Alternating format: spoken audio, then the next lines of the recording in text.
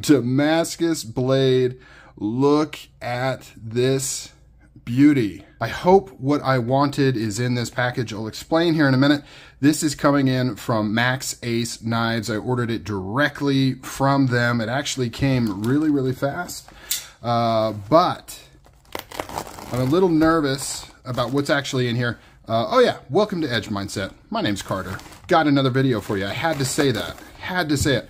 So here's the deal. Uh, I ordered this and I was distracted and so I ordered the wrong one. I ordered a lesser version than what I wanted. And so I sent an email, sent a message, hey, can you swap it out for the other one? They said, sure. They sent me an invoice for the additional cost.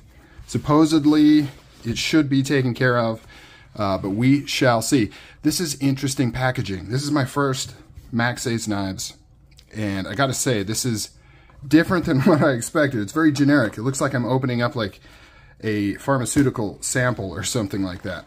Uh, very heavy. This is very heavy. So we got some information here. What is this? What is this? Congratulations. Oh, thank you.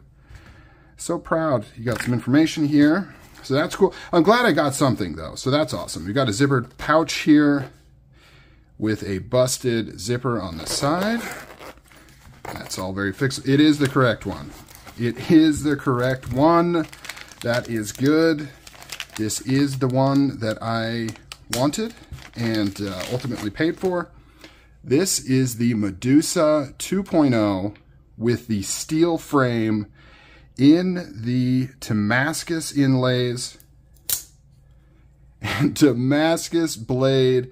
Look at this beauty. This Damascus looks way better in person. That looks really, really cool. I'm not sure what kind of Damascus that is, uh, but I like the smoothness of the etched part and then the brightness of the layers there. That is really, really cool.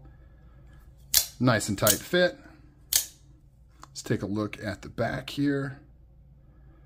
That is really, really cool.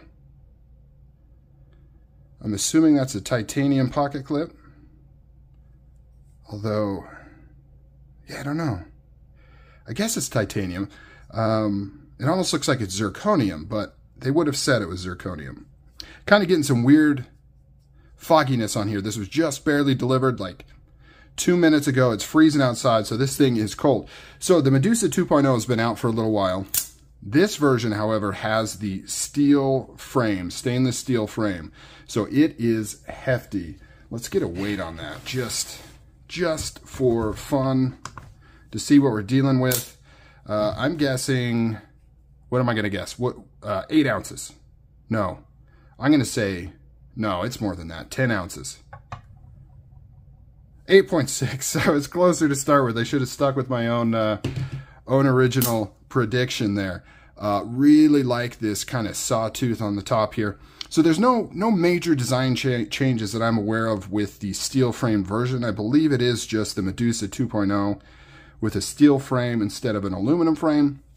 Can't wait to spend some more time with this thing, really get to know it, see how it feels, give my opinion on it. Uh, so far, it looks pretty cool. These inlays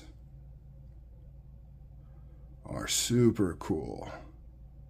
Only thing that would make them cooler if they were Zircuti instead of just Damascus.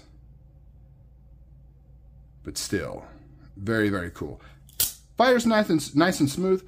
I've heard some people say that the Medusa like blows Microtech out of the water in terms of uh, tolerances and how smooth it is.